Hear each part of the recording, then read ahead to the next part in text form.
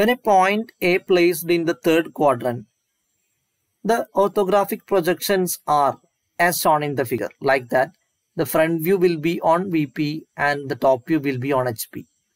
But when come to the uh, book or the A4 sheet, we have separated by a reference line. How the images come when we are placed an object in the third quadrant? That is the question. So it is clear that the point A dash that is called the front view will be below XY line and also the top view point A will be on HP and we are rotating this HP towards the vertical plane in top view. So in top view it will be above XY line.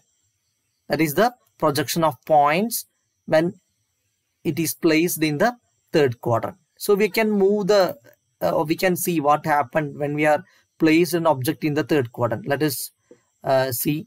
This is the way that we are rotating the planes and the projections are as per the rotation and we have the projections a dash below xy line and a above xy line.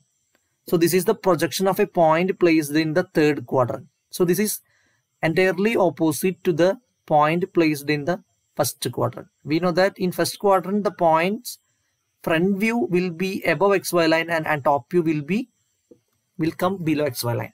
But in third quadrant it is it is that it is like that point A dash that is front view is below xy line and top view will be will come above xy line.